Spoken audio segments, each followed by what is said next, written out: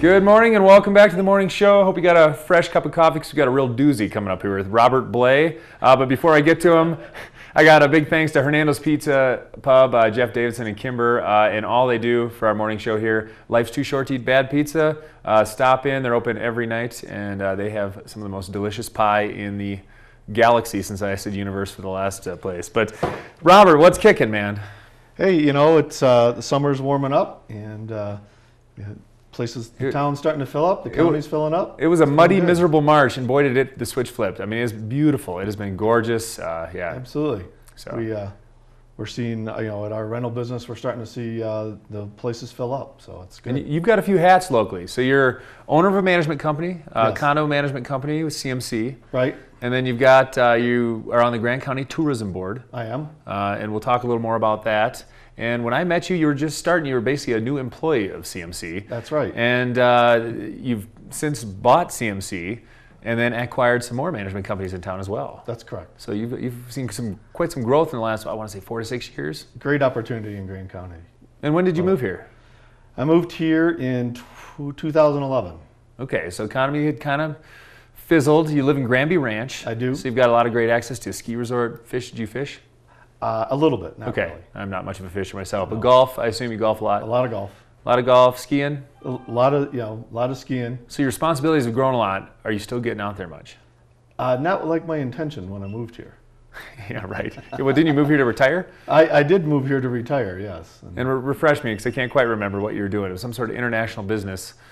Yeah, I, we, uh, my family owned a um, international sales and distribution company involved in um, uh, film rights. I thought it was film related. Yeah. Right, exactly. And so you retired from that. Yep. How'd you find Grand County?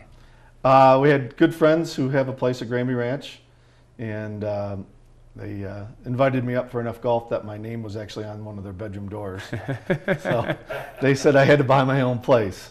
So, um, so what we decided to do after the market in Denver was was kind of crazy, and so we decided to swap and buy our retirement home here and keep a small condo down in Denver. And your timing couldn't be more perfect. Uh, You got out high in Denver, got in low up here, and now we're seeing a little pop. We're seeing a Things nice starting pop to, right yeah, now, yeah, yeah, So, yeah.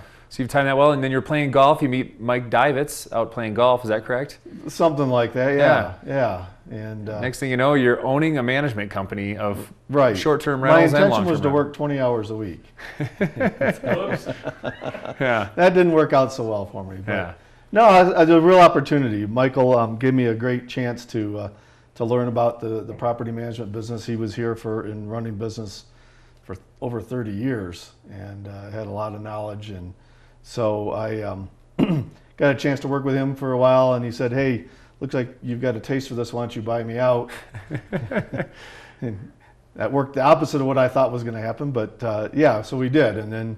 Um, uh, my background in, in prior to the international distribution company was running soft, uh, a pretty good sized software company, um, and we bought a lot and sold a lot of companies in, during that time.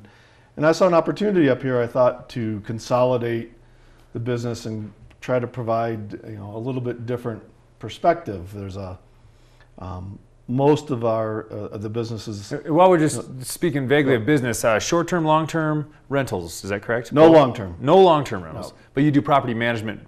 So we do homeowner, yeah, homeowner association management, whether you're a condo, townhome, or uh, a single-family home. So we have the whole gamut of those uh, companies. Um, then we have about 250 homes in, uh, separately that we manage uh, on a vacation rental basis. Okay, it's 250 is what you're renting. Yes. Okay.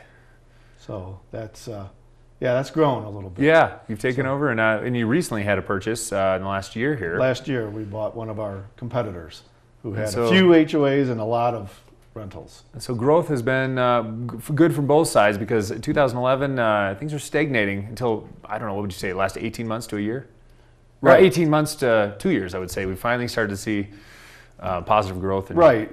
We saw a trend about two years ago where built up demand for people to get out was um, You, you know was what? great. I just noticed we're uh, going to take a quick break here, and this is a great thing to come back in on because uh, talking about what the kind of trends you've seen and uh, and what's all going on there. So right. once again, hanging out with Robert Blay. He is the owner of CMC as well as uh, a member of the Grand County Tourism Board. And stick around later because we're going to pop down to Moe's, catch a little of their happy hour special, drink some beer, eat some wings, and uh, check out some good barbecue. So we'll be back right here on Channel 18.